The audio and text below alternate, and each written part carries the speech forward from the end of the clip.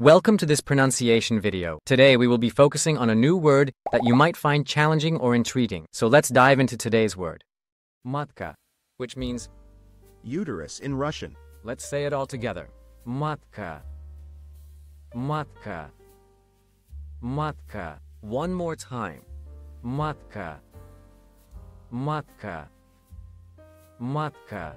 Thank you for joining us on this adventure in pronunciation. Remember, language is a journey, not a destination. Keep exploring, experimenting, and expanding your linguistic horizons. We'll see you next time.